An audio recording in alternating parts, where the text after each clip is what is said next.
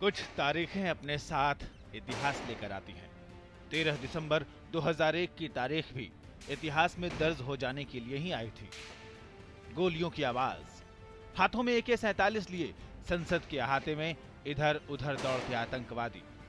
इधर से उधर भागते लोग, कुछ ऐसा ही नज़ारा था संसद भवन का, जो हो रहा था, उस पर यकीन करना मुश्किल था, लेकिन बदकिस्मती से हर तस्वीर सच थी।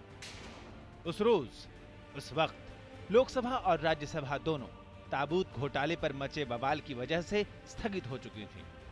वक्त था ग्यारह बजकर बीस मिनट। कुछ सांसद बाहर निकल गए थे।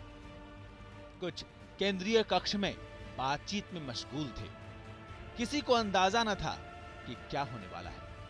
सफ़ेद रंग की एक एम्बेसडर कार संसद मार्ग पर दौड़ती चल रही थी। घनघनाती हुई लाल बत्ती और सायरन की आवाज़। ये कार विजय चौक से घूमकर संसद की तरफ़ बढ़ने लगी। जब कार को रोका गया तो आतंकियों ने उपराष्ट्रपति के काफिले को टक्कर मार दी। दिल्ली पुलिस के जीतराम और विजेंदर ने रोकने की कोशिश की तो उधर से फायरिंग होने लगी। संसद की सुरक्षा में सेंध लग चुकी थी। ये कारस्तानी थी जैश ए मोहम्मद के पाँच आतंकवादियों की। ये पाकिस्तान की भारतीय लोकतंत्र के पवित्र मंदिर को निस्तनाबूद करने की साजिश थी। संसद पर हुए इस हमले ने पूरे देश को झकझोर दिया। लेकिन परिसर में मौजूद सुरक्षा कर्मियों ने अपनी जान पर खेलकर इसका सामना किया। देश की संप्रभुता और लोकतंत्र के इस मंदिर पर कोई आँच न आए। इसके लिए जान की बाजी लगाकर सुरक्षा कर्मियों ने सभी पाँच आतंकियों को मार गिराया।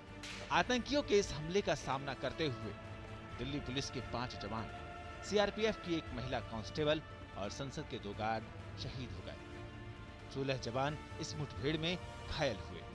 लोकतंत्र पर हमले के इस मास्टरमाइंड अफजल गुरु को फांसी के तख्ते तक ले जाने में देर भले हुई हो, लेकिन आखिरकार देश की जनता को न्याय मिला। 13 दिसंबर 2001 की तरह ही 9 फरवरी 2013 भी इतिहास के पन्नों पर दर्ज होकर रहेगा।